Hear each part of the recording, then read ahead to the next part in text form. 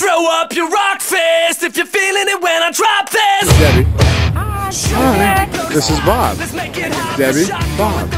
So, whose decision was it to take Debbie skydiving? and it was Debbie. Okay.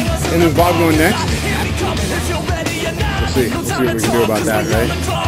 Cool. All right, well, hopefully we do well. Don't stop. If she makes it, I might. Okay, okay. All right, man. Well, that's we're gonna take that little tiny plane all the way up to 10,000 feet, and then jump out of it. It's half a plane ride. It's good fun. The other half's a good part. All right, we'll see you in the plane.